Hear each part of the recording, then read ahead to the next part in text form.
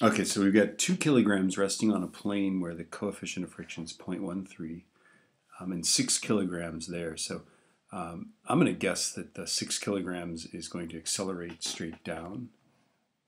That's my first thing, right, is to guess the direction of the acceleration and drag this guy up the plane, right? So there's the direction of the acceleration.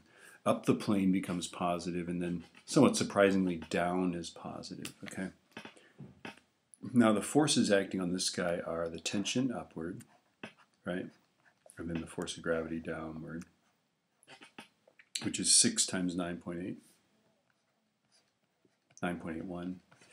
So 6 times 9.81 is 58.86. And since we're going to make this accelerate down, this guy becomes the protagonist and the antagonist. Okay, and so we have an equation um, of 58.86 minus t equals 6 times a. And it's weird, but because we're saying it's accelerating down, and because we always make the acceleration positive, then that force that's causing the acceleration is positive. Okay, so now let's look at this guy here. Um, we're going to have, as it slides this way, we're going to have a force of friction this way, right? And we're going to have a parallel force this way, right? Parallel component of Earth's gravity, right? So the parallel force is uh, uh, mg sine theta, right? So that's 2 times 9.81 times the sine of 30. Okay, what is that? 2 times 9.81 times the sine 30. It's 9.81. Look at that. Because, of course, the sine of 30 is a half and 2 is 2. And yeah, there it is, right? Okay, so that's 9.81 newtons down the plane, right? Okay, and then the, the force of friction is going to be is going to be mu times the normal force, which is mu times mg sine or cos theta, right? Right, because mg cos theta will become the perpendicular force. Uh, and so that equals, uh, what is it, 0.13 times uh, 2 times 9.81 times cos 30. This doesn't come out even, so 0.13 times 2 times 9.81 times cosine of 30. Let's make sure we're doing this right. I'm going to store that in some variable. There we go. Okay, so 2.209.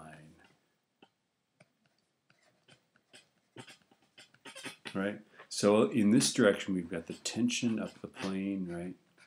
We've got these forces down the plane, which somehow I drew the arrows longer than the tension, but it can't be, right? Um, and so, uh, and for this guy here, this is going to be positive. These guys, the force of friction is 2.209. That guy's going to be negative. The parallel force is 9.81 newtons, and that guy's negative, right?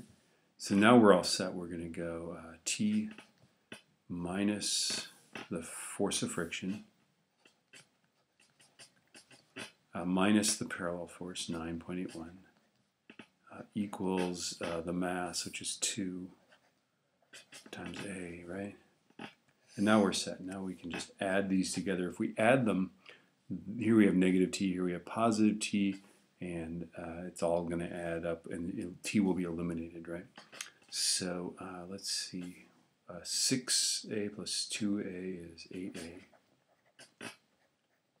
And then here we've got um, the t's go away, but 58.86 um, minus that number minus 9.81 is 46.841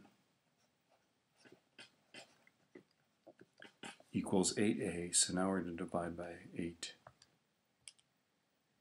We get 5.855.